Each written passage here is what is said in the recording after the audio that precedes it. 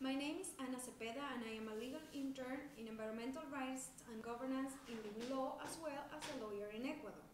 Living Law is strongly engaged in and supportive of efforts for the advancement of public participation in line with Principle 10 of the Rio Declaration as a founding part of our firm's mission to help equalize the scales of environmental justice. For this reason, we strongly welcome and congratulate the recent enactment of the law 19773 by the Uruguayan Parliament last week ratifying the Escazú Agreement. The Escazú Agreement is a regional convention agreed in March 2018 to move forward access to information, public participation, and justice in environmental matters in the whole of Latin America and the Caribbean. Similarly to the UNICER's Convention, to which the UK is party along with 47 other countries, Escazú is based on the three pillars of access to environmental information in Article 5 and 6, public participation in Article 7, and access to justice in Article 8.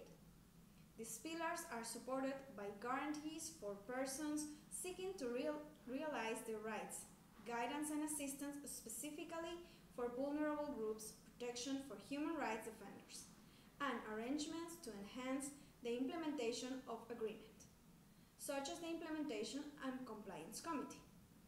The provisions of the Escazú Agreement addressing the protection of environmental defenders are specifically important and much welcome when considering the recent Global Witness Report, which highlights that globally 164 environmental activists were killed in 2018 alone of other cases known and many more face silencing, intimidation, and retributions contrary to fundamental human rights guarantees. Brazil and a number of other Latin American countries are consistently among the top offenders.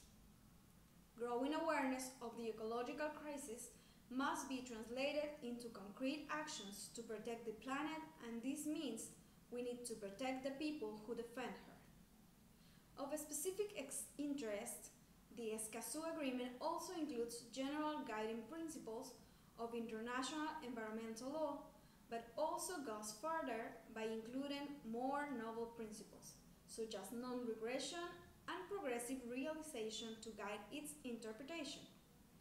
We also hope that countries in the UNECE region will be guided and learn from this advancement. The agreement stresses the need to treat environmental matters as a concern of every human being. It will strengthen cooperation with civil society through open and inclusive participation, not limited to environmental decision-making processes, but also in processes of revision, re-examinations, and updates regarding activities impacting on the environment. Uruguay is now the second country after Guyana to ratify the Escazú Agreement. This means only another eight more ratifications are now needed to bring the treaty into force. The UNECE-Aarhus Convention is the regional treaty engaged in advancing the same human rights, access to information, public participation, and justice in environmental matters, and celebrated its 30th birthday last year.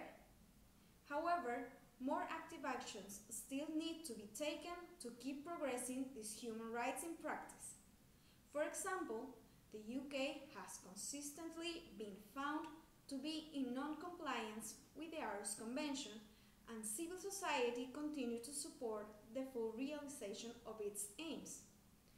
In current UK Brexit context, it is particularly important to recall not only the legal requirements of the Convention, but the many advantages of implementing its provisions in the real world to uphold our environmental rights.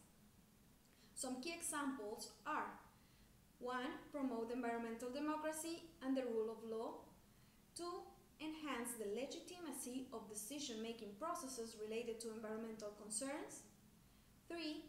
Support informed decisions as the authorities are provided with maximum facts and evidence from a diversity of perspe perspectives. 4. Reduce the risk of adopting decisions that could result in breaches of fundamental human rights and freedoms. 5. Reduce the risk of challengeability of policies and decisions. 6. Empowering civil society to become active individuals who are aware that their everyday actions have effects on environment. Every country in the world needs to continue to advance these human and environmental rights in line with existing international laws, as also highlighted last year through the work of the UN Special Rapporteur on Human Rights and the Environment to the UN Human Rights Council. That is why we are today publishing a short summary of the Escazú Agreement to promote wider understanding of its existence and aims, and how we might also learn from it. We hope that countries in Latin America will now swiftly complete the ratification processes.